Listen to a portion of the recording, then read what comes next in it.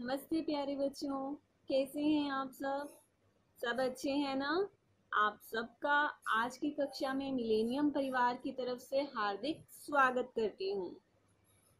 बच्चों, आपको याद है, आपने एक रंगीन कलम की कहानी सुनी थी? क्या आप दोहरा सकते हैं वो कहानी मेरे साथ?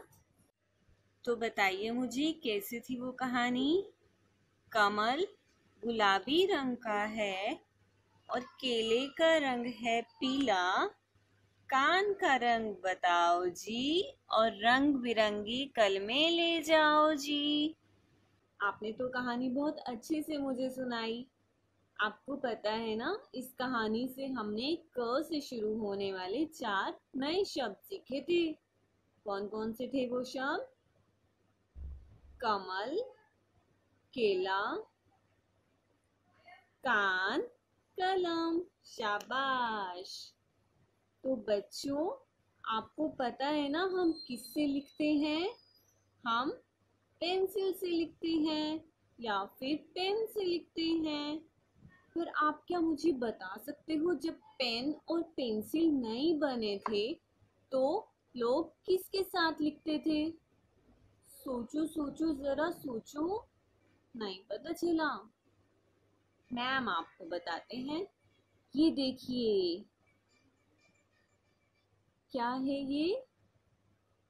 पंख, शाबाश। आपको पता है, जब पेन और पेंसिल नहीं थे, तब लोग पंख के साथ लिखते थे। आपको पंख के साथ लिखना आता है? नहीं। आज गीतिका मैम आपको सिखाएँगे कि पंख के साथ कैसे लिखते हैं। थे। इसके लिए आपको चाहिए एक पंख और एक कटोरी में पानी वाला कोई भी रंग।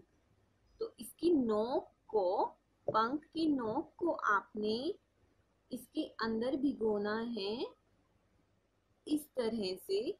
और अब हम इसकी सहायता से एक पेज पर एक चित्र बनाएँगे। तो बच्चों, चलिए सीखते हैं कि हम पंख की सहायता से कैसे लिख सकते हैं। अभी मैम एक चित्र बनाने जा रहे हैं। आपको वो चित्र पहचाना है कि वो कौन सा चित्र है?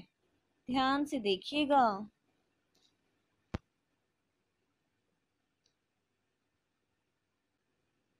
तो बच्चों, पहचानिए ये कौन सा चित्र है।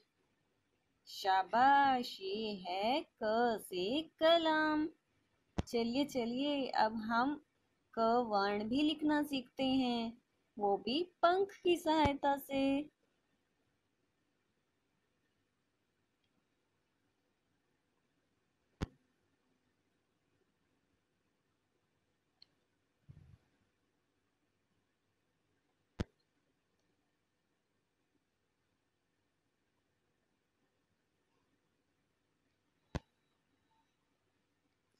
देखा बच्चा आपने?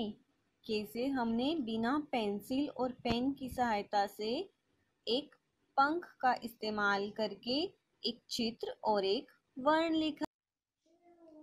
तो बच्चों, पिछली कक्षा में आपने क से शुरू होने वाले चार शब्द सीखे थे। केला, कलम, कान, कमल। और आपने बिंदुओं की सहायता से क की खोज की थी। आज की कक्षा में हमने एक पंख का इस्तेमाल करके क का लेख सीखा है। चलिए देखते हैं कार्यपत्रिका में आपने क का लेख कैसे करना है।